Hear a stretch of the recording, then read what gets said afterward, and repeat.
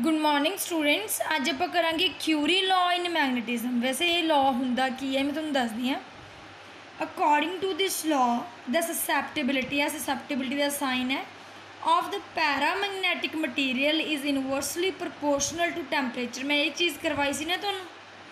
ਜਦੋਂ ਮੈਨੇ ਪ੍ਰੋਪਰਟੀਜ਼ ਕਰਵਾਈਆਂ ਸੀ ਪੈਰਾਮੈਗਨੈਟਿਕ ਮਟੀਰੀਅਲ ਦੀਆਂ, ਮੈਂ ਤੁਹਾਨੂੰ ਪਹਿਲੀ ਚੀਜ਼ ਹੀ ਇਹ ਦੱਸੀ ਸੀ ਵੀ ਜਿਹੜਾ ਆਪਣੇ ਕੋਲ ਪੈਰਾਮੈਗਨੈਟਿਕ ਮਟੀਰੀਅਲ ਹੈ it is inversely proportional to temperature ਕਰਵਾਇਆ ਸੀ ਨਾ ਮੈਨੇ ਵੀ magnetic susceptibility is inversely proportional to T ਇਹੀ ਚੀਜ਼ ਮੈਨੇ ਇਹਦੇ ਵਿੱਚ ਲਿਖੀ ਹੋਈ ਆ।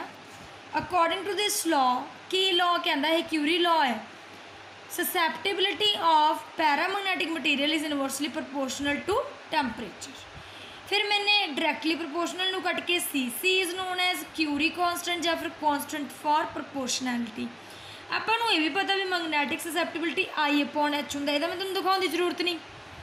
I ਕੀ ਹੁੰਦਾ? ਹੈ I ਕੀ ਹੁੰਦਾ ਆਪਣੇ ਕੋਲ? Simple intensity of magnetization and H ਕੀ ਹੁੰਦਾ? ਮੈਗਨੇਟਾਈਜ਼ਿੰਗ ਇੰਟੈਂਸਿਟੀ ਹੁਣ ਮੈਗਨੈਟਿਕ ਸਸੈਪਟੇਬਿਲਿਟੀ ਤੁਹਾਨੂੰ ਪਤਾ ਹੀ ਹੈ ਵੀ ਉਹ ਮਟੀਰੀਅਲ ਜਿਹੜਾ ਮੈਗਨੈਟਿਕ ਫੀਲਡ ਦੇ ਵਿੱਚ ਰੱਖ, ਰੱਖਿਆ ਹੋਇਆ, ਉਹ ਕਿੰਨਾ ਜਲਦੀ ਆਪਣੇ ਆਪ Ah, ਕਿੰਨੇ ਜਲਦੀ ਸ- ਕੀ ਹੋ ਜਾਂਦਾ ਮੈਗਨੇਟਾਈਜ਼ ਹੋ ਜਾਂਦਾ, ਉਹਨੂੰ ਆਪਾਂ ਸਸੈਪਟੇਬਿਲਿਟੀ ਬੋਲਦੇ ਹਾਂ।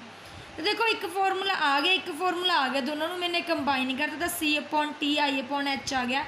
ਇਹ ਨੂਮੈਰੀਕਲਸ ਦੇ ਵਿੱਚ ਯੂਜ਼ ਹੁੰਦਾ ਫਾਰਮੂਲਾ ਇਸ ਕਰਕੇ ਮੈਨੇ ਇਹ ਵਾਲੀ ਚੀਜ਼ ਕਰਵਾਈ ਹੈ। ਇੱਕ ਆ ਗਿਆ ਕਿਊਰੀ ਟੈਂਪਰੇਚਰ ਕਿਊਰੀ ਟੈਂਪਰੇਚਰ ਉਹ ਹੁੰਦਾ ਹੈ ਵੀ ਜਦੋਂ ਆਪਣੇ ਕੋਲ ਜਿਹੜਾ ਫੈਰੋਮੈਗਨੈਟਿਕ ਸਬਸਟੈਂਸ ਹੈ ਉਹ ਕਨਵਰਟ ਹੋ ਜਾਂਦਾ ਕਿਹਦੇ ਵਿੱਚ? ਪੈਰਾਮੈਗਨੈਟਿਕ ਦੇ ਵਿੱਚ। ਤੁਹਾਨੂੰ ਇਹ ਚੀਜ਼ ਪਤਾ ਵੀ ਫੋਰ ਫੈਰੋ ਦੇ ਲਈ ਸਸੈਪਟੀਬਿਲਿਟੀ ਬਹੁਤ ਗ੍ਰੇਟਰ ਦੈਨ ਗ੍ਰੇਟਰ ਦੈਨ 1 ਹੁੰਦੀ ਹੈ। ਮਤਲਬ ਪੋਜ਼ਿਟਿਵ ਵੈਲਿਊ ਹੁੰਦੀ ਹੈ ਤੇ ਮੋਰ ਵੈਲਿਊ ਹੁੰਦੀ ਹੈ, ਹਨਾ? ਤਾਂ ਮੈਨੇ ਆ ਚੀਜ਼ ਲਿਖ ਲਈ। ਪੈਰਾ ਦੇ ਲਈ ਆਪਣੇ ਕੋਲ ਥੋੜੀ ਘੱਟ ਹੁੰਦੀ ਹੈ, ਕਿਉਂਕਿ ਸਾਰੇ ਮੈਗਨੈਟਿਕ ਫੀਲਡ ਲਾਈਨਸ ਨੂੰ ਅਟਰੈਕਟ ਨਹੀਂ ਨਾ ਕਰ ਪਾਉਂਦਾ। ਗ੍ਰੇਟਰ ਦੈਨ ਪਲੱਸ 1 ਹੁੰਦੇ ਪੋਜ਼ਿਟਿਵ ਵੈਲਿਊ ਵੀ ਹੁੰਦੀ ਹੈ। ਡਾਇਆ ਦੇ ਲਈ ਕੀ ਹੁੰਦੀ ਹੈ? ਲੈਸ ਦੈਨ 0 ਹੁੰਦੀ ਹੈ, ਕਿਉਂਕਿ ਉਹਦਾ 네ਗੇਟਿਵ ਵੈਲਿਊ ਆਉਂਦੀ ਹੈ। ਤਾਂ ਆ ਗ੍ਰਾਫ ਗ੍ਰਾਫ ਸਮਝੋ। ਦੇਖੋ, ਮੈਨੇ ਨਾ ਗ੍ਰਾਫ ਬਣਾਇਆ ਟੈਂਪਰੇਚਰ ਤੇ ਸਸੈਪਟੇਬਿਲਿਟੀ ਦੇ ਵਿੱਚ ਵਿੱਚ। ਜਿਹੜਾ ਆਹ ਵਾਲੀ ਚੀਜ਼ ਹੈ ਨਾ, ਇਹ ਹੈਗੀ ਆ ਫॉर ਜਿਹੜੀ ਆ ਕਰਵ ਆਈ ਹੈ ਫॉर ਫੈਰੋ ਦੇ ਲਈ ਆਈ ਹੈ ਜਿਹੜੀ ਆਹ ਵਾਲੀ ਕਰਵ ਆਈ ਹੈ ਫॉर ਪੈਰਾ ਦੇ ਲਈ ਆਈ ਹੈ ਇਹ ਹੁਣ ਤੁਹਾਨੂੰ ਸਭ ਕੁਝ ਸਮਝ ਆਊਗਾ ਜਿਹੜਾ ਆਹ ਵਾਲੀ ਹੈ ਫॉर ਡਾਇਆ ਦੇ ਲਈ ਆਈ ਹੈ ਠੀਕ ਹੈ? ਦੇਖੋ ਫੈਰੋ ਦੀ ਸਭ ਤੋਂ ਜ਼ਿਆਦਾ ਵੈਲਿਊ ਹੈ ਤਾਂ ਉਹਦਾ ਕੀ ਕਿਹਾ ਉਹਨੇ? ਵੀ ਫੈਰੋਮੈਗਨੈਟਿਕ ਸਬਸਟੈਂਸ ਕਨਵਰਟ ਹੋ ਜਾਂਦਾ ਪੈਰਾ ਦੇ ਵਿੱਚ। ਜਦੋਂ ਉਹਨੂੰ ਟੈਂਪਰੇਚਰ ਇਨਕਰੀਜ਼ ਹੁੰਦਾ, ਉਦੋਂ ਉਹ ਪੈਰਾਂ ਦੇ ਵਿੱਚ ਕੀ ਹੋ ਜਾਂਦਾ ਚੇਂਜ ਹੋ ਜਾਂਦਾ। ਫਿਰ ਉਸ ਤੋਂ ਬਾਅਦ ਆ ਆਪਣੇ ਕੋਲ ਕਰਵ ਆ ਗਈ ਕਿਹਦੀ? ਡਾਇਮਨਟ ਦੀ, ਜਿਹਦੀ ਵੈਲਿਊ ਨੈਗੇਟਿਵ ਆਂਦੀ ਹੈ ਸਮਝ ਆਈ? ਤੇ ਕਈ ਵਾਰ ਨਾ ਆ ਪੇਪਰ ਦੇ ਵਿੱਚ ਇਸ ਤਰ੍ਹਾਂ ਦੇ ਕੁਐਸਚਨਸ ਆ ਜਾਂਦੇ ਆ।